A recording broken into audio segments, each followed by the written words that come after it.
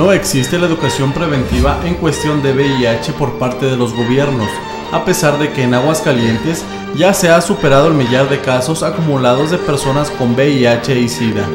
La titular de SECADEC en la entidad, Mónica Pedrosa, aseguró que aún no son suficientes los esfuerzos para detener el avance de esta pandemia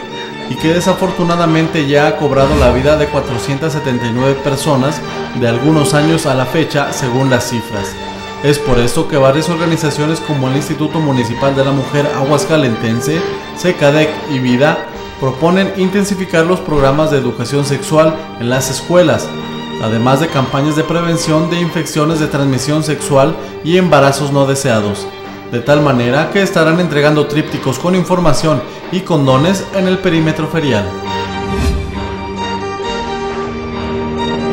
Realidad es que, bueno, a lo que realmente aunque pareciera nada más una aspirina, la distribución de insumos, pues al menos, ¿no? Al menos se hace, estamos haciendo algo, tal vez pareciera mínimo, pero yo creo que sí le hemos salvado la vida a más de tres.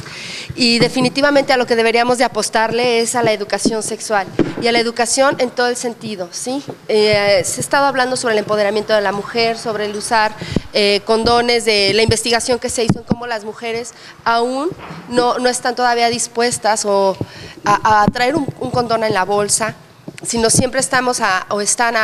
esperando a que el compañero les cuide eh, su salud y entre ello es el uso del condón. Miguel Díaz García, siempre al día.